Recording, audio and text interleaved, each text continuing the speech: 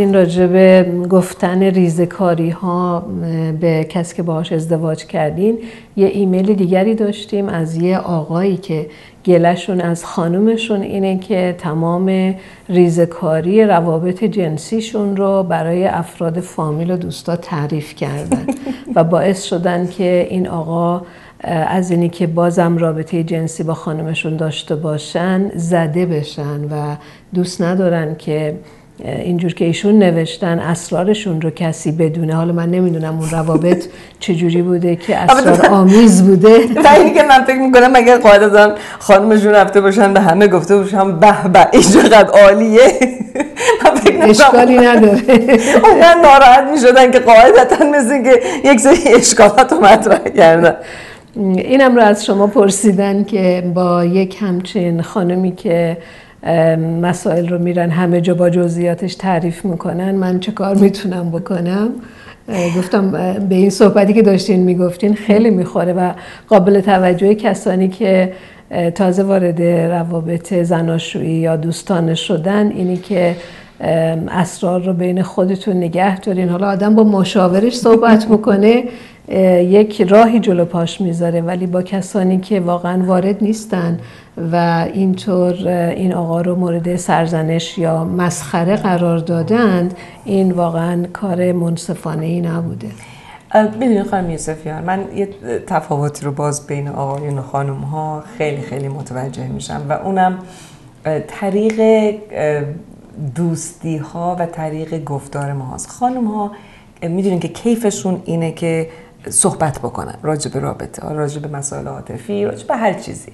به خاطر همینم خیلی دوره دارن خیلی دوستای صمیمی دارن که راجع به مسائل صحبت می‌کنن. و اکثرا خیلی از راجع به مسائل عاطفی و حتی راجع به مسائل جنسیشون خیلی راحت تو شوخی تو لفافه تو مسائل.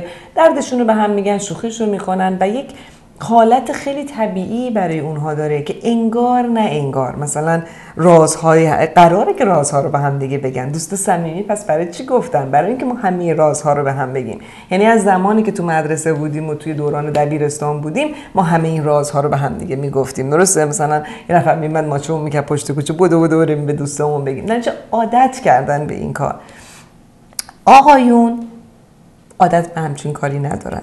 مخصوصا کسی که ناموسشونه و همسرشونه و کسی هستش که باهاشون یارشون هست رو راجبش حرف نمی‌زنن یعنی ممکنه که مثلا آقایون در کنار که هم هست در کنار هم که هستن. و اینو واقعا بهتون میگم کلی هست. یعنی باز مسئله فرهنگی نیست که بگیم مثلا ژاپن کار می‌کنن آمریکا و ایران. آقایونی رو که شما نگاه می‌کنین در تمام قسمت های دنیای اکثر بگم اکثر قسمت های دنیا یه تفاوتی بین زن و مرد هست و طریق برخورد و گفتمان اونها کلا با هم دیگه که خیلی الانم که تحقیقات نوروساینس داره اتفاق میفته خیلی بیشتر این تفاوت ها رو در حقیقت داره نشون میده. آقایون حتی اگر راجع به خانوم ها صحبت بکنن هیچ وقت راجع به ناموس و خواهر و مادر و همسر صحبت نمی‌کنن. همیشه راجع به یک خانومیه که داره رد میشه مثلا. گفتگو ممکنه راجبش بکنن. یا حتی اگر راجب دوست دختری و روابط جنسی دوست دختری صحبت می‌کنن معمولا اون دوست دختر کسی نیست که قراره بمونه تو زندگیشون. کسی که اونقدر رابطه وابسته نیست وابستگی ندارن. واسه همین این مسئله خیلی برنج میشه که برای اون آقا وقتی که اینو میشنوه که رابطه خصوصی اون چه روابط با هم احساسیشون چه روابط جنسیش گفته شده خیلی خیلی دردناکه براشون. برای خودش این اتفاق نمیفته که این کار بکنه و اگر حرف بزنه یعنی اون آدم براش مهم نیست. در حالی که برای خانم ها خیلی خیلی راحته و جزو شوخی های روزمرهشونه با هم دیگه. ولی آیا تاثیر می‌ذاره؟ بله. و اگر متوجه میشید که مرد زندگی شما یا زن زندگی فرق نمی‌کنه اگر متوجه میشیم که یار شما این مسئله رو دوست نداره. ببینید خانم ها خیلی ناراحت میشن اگه فکر بکنن که شوهرشون رفته به مادرش یا خواهرش راجع به رابطه سکسیشون گفته. یعنی این نیستش که فقط با اینکه توضیح دادم کلا آقای و خانم ها چجوری هستن ولی اگر معمولا یک مشکلی وجود داره یعنی غیر از اینی که به به چقدر همسر من عالیه هر مشکل دیگه ای که وجود داره قاعدتا یار شما بهش بر می‌خوره مسائل جنسی هم مسائل بسیار خصوصیه. ما از بچگی یاد گرفتیم مسائل جنسی خصوصیه. و خیلی ربط پیدا می‌کنه. یه طورایی به کلا به هویت ما.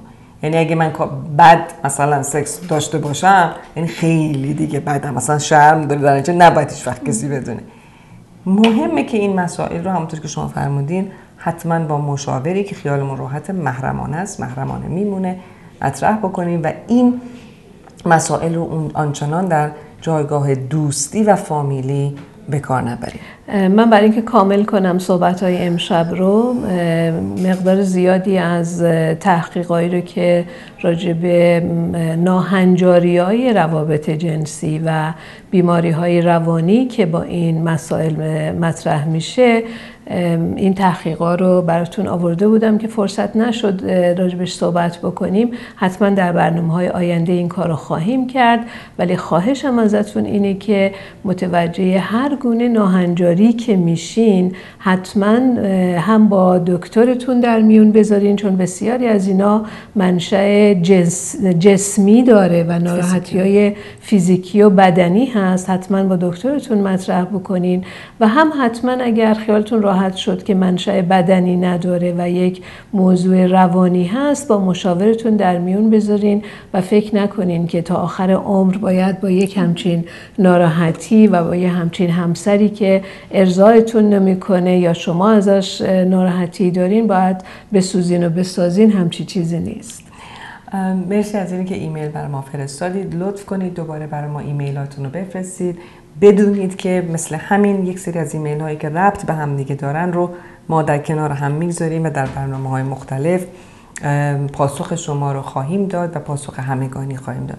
اگر مایل هستید که با روان درمانگران ما خانم یوسفیان و روان درمانگران دیگری گفتگویی داشته باشین با شماره ای که در روی صحنه تلویزیون می‌بینید با ما در تماس باشید که بتونیم با هر بودجه در هر شرایطی در هر جای دنیا که هستید یا مشاوره یا روان درمانی رو براتون انجام بدیم. ممنونم ازتون. مرسی از اینی که با ما بودید امشب و هفته آینده دوباره همین وقت با شما خواهیم بود. روز و شبتون خوش. شب بخیر.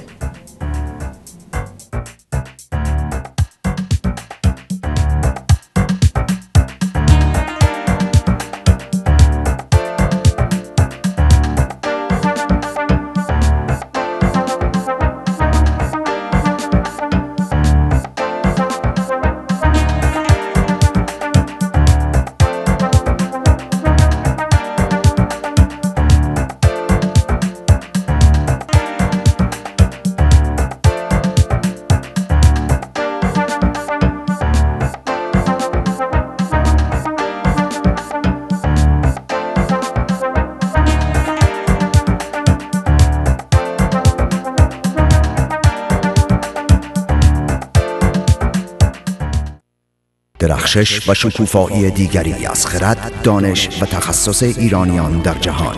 مجموعه مدرن خرد زندگی شامل چهار سی دی. خرد آرامش درون راهی مفید برای بازگردانی سلامت روح و جسم شما. خرد خواب آسوده. بهترین هم